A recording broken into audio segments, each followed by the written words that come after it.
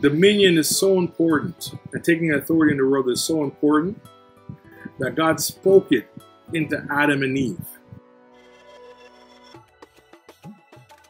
Genesis chapter 1, verse 28. And God blessed them. God said unto them, Be fruitful and multiply, and replenish the earth and subdue it, and have dominion over the fish of the sea, and over the fowl of the air, and over every living thing that moveth upon the earth. And God said, Behold, I have given you every herb bearing seed is upon the face of the earth, and every tree in the which is the fruit of a tree yielding seed. To you it shall be for me. And to every beast of the earth, and to every fowl of the air, and to everything that creepeth upon the earth, wherein there is life, I have given every green herb for meat. And it was so.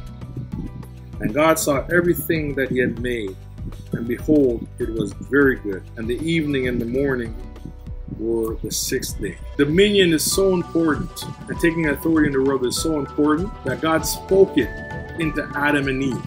And the same way that he spoke into Adam and Eve, if you read the scriptures closely, you can see that he spoke it into Abraham, he spoke it into Isaac, he spoke it into Jacob, he spoke it into the 12 tribes of Israel, he spoke it into David, and he spoke it into Jesus, and Jesus spoke it into the church. Is that we're actually called as individuals because he didn't call them as a church, he called them as a couple, and he spoke to them individually, like spoke to both of them.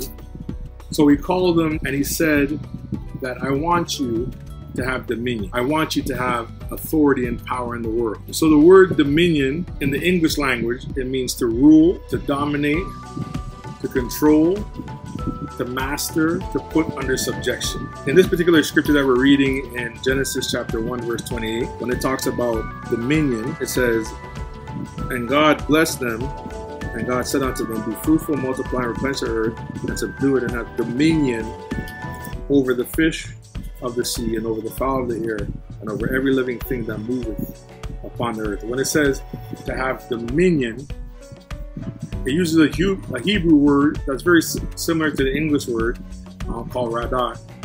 And, and what that word means, it means to have rule, to dominate. It means to be able to tread upon or to stand on its neck. So when it's talking about having dominion, it's talking about us having power in this world.